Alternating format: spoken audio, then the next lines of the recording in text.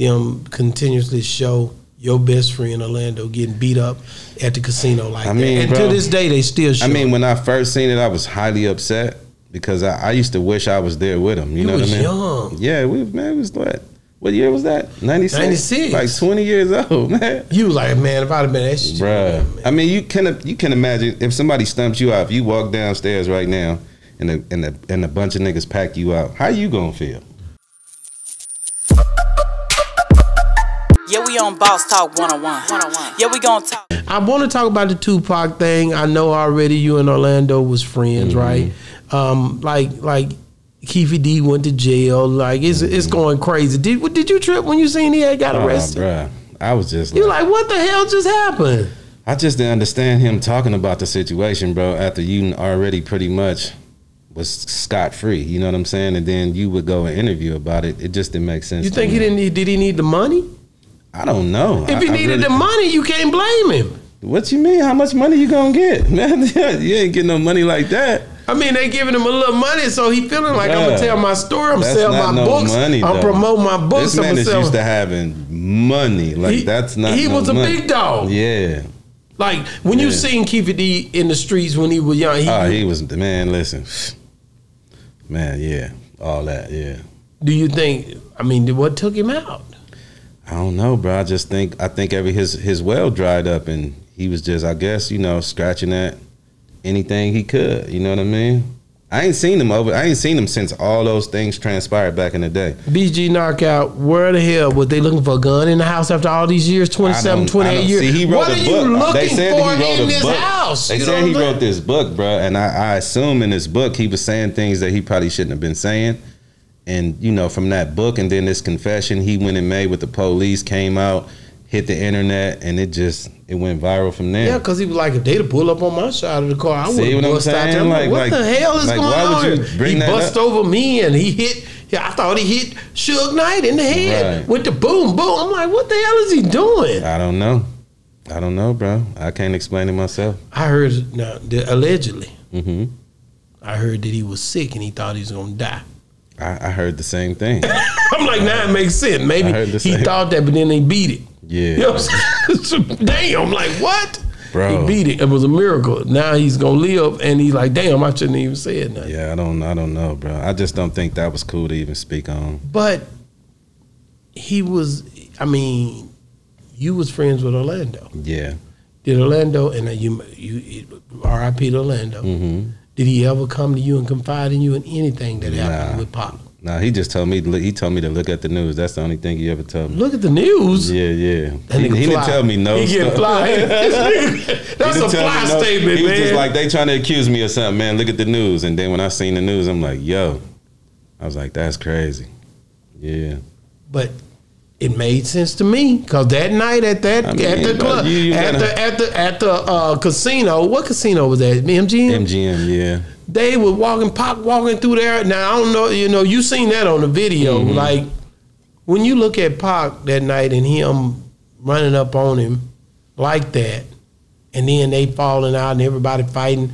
They didn't show the whole fight. It just looked like it was just a mob of niggas on him. yeah. And to be honest with you, You can't really, you can't really hurt somebody with that many people, though. It only take like two people to really handle But I one tripped person. out off of the fact that he was there hmm and he was by himself. That messed Yeah, me up. it, it might have been. dude, It might have been. You know, like just imagine like this weekend. This is Super Bowl weekend, right? And so you walk in the casino with a bunch of people, and then you see a bunch of other people you know, and everybody splinter off. And then you end up. Sometimes you can get caught by yourself. You know what I'm saying? You happen to be standing over here alone at, for that moment, and then you know. did and you may or may not know this did did these guys have a relationship with P Diddy?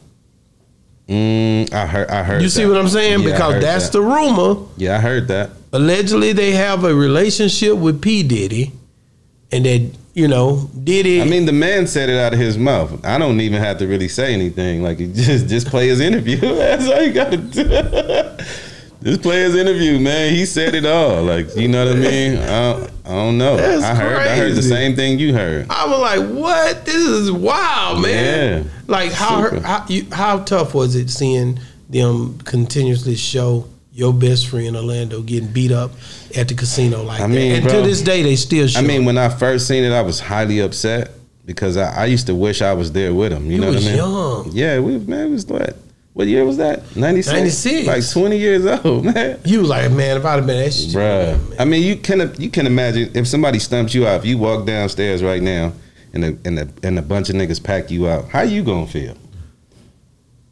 Think about pissed, that. You boy. see what I'm That's saying? messed just, up. just, just But- common sense. But uh, alleged, well, no, he had a death row chain or something. Is what they were saying. Yeah, but that's just a, that's just something somebody made up. He didn't have no chain. Nah, bruh. Nah. I think one of his homeboys ended up doing something like that, but it didn't have nothing to do with him.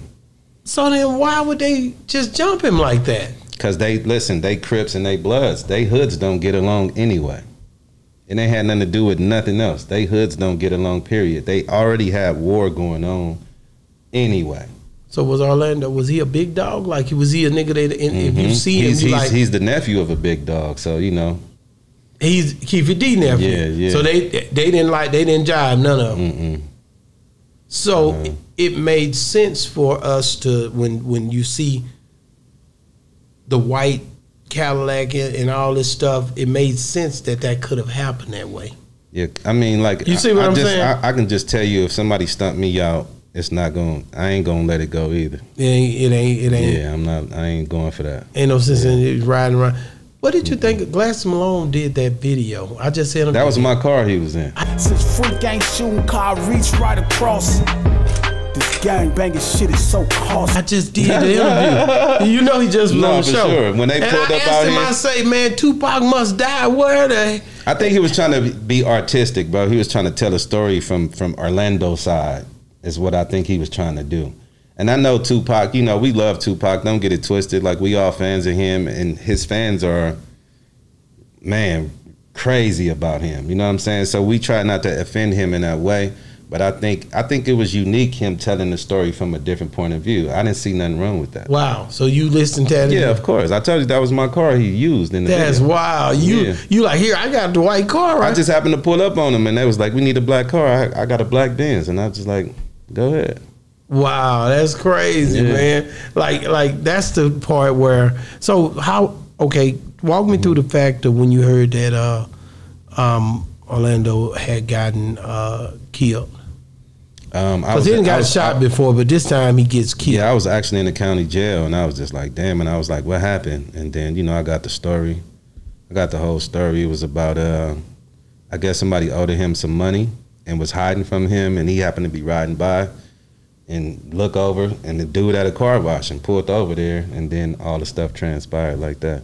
Wow, man, and he was your and that was your best friend. Yeah, that was one of my close friends for sure. Yeah, like that dude would find me anywhere my mother moved, anywhere. He'd just pop up. He, like talking to people, he'd find out where I live up and just show up at my door. He I met him in juvenile hall when we was 11 years old. We both Oh, in so there. for- y'all both. yeah, so you know what I'm saying, and then you know how how it runs. Like probably it's the same thing in Texas. When you from a certain area in jail, everybody stick together. That's right. So that's how we got close. Yeah, we on Boss Talk 101. 101. Yeah, we gon' talk.